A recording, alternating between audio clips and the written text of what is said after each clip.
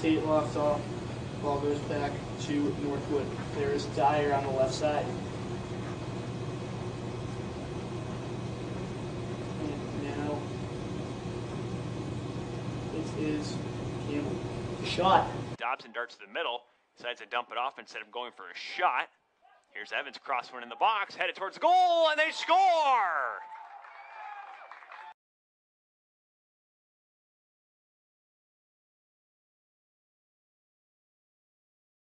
Ah, come on, come on, Jack. Go on. It's all right, it's all right. Yes, go on.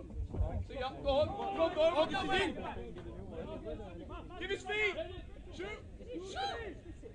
Right foot Yeah! Hey. Everybody. All that shit we tell them about the ref. Don't yell at the ref over here. Shut up.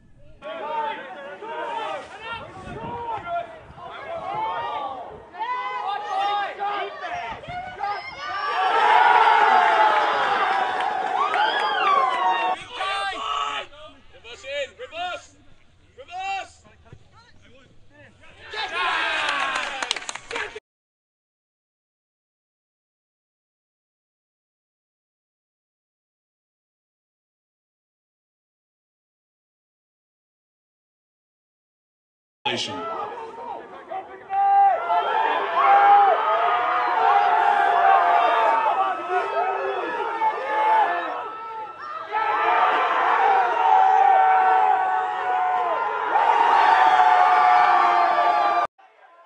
taken away and moved on up, and here's Doyle. He's got Campbell streaking to his right. He's going to give it to him in a bit of a foot race. Campbell gets around Pico Kelson. He's in, he shoots, and he scores!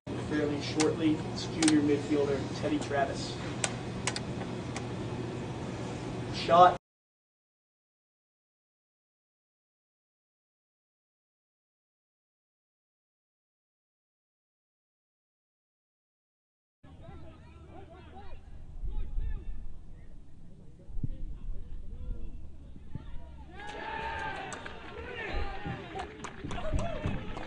phenomenal this first half thus far for Northwood University.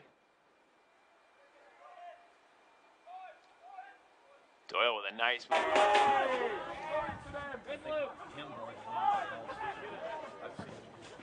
Hold it, hold it. The kid's in.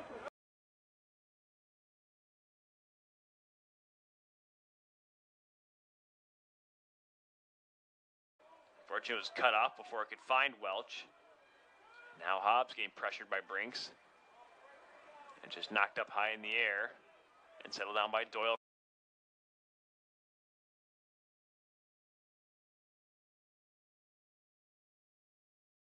The U back line will try to move it up. However, his pass taken away. And now Kelson's in a foot race. The stretch pass intended for Doyle. Kelson can't win the ball as Doyle's able to corral it as Kelson kind of overran it, but Northwood with the ball in midfield. Head on along as the Timberwolves look to bring it out of play. Cheney does have a 6 4 1 record, like we said. Three of his wins have been clean sheets. So here's Northwood with an opportunity.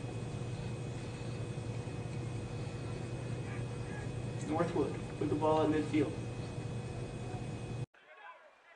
Close call there for the Panthers. They've had a couple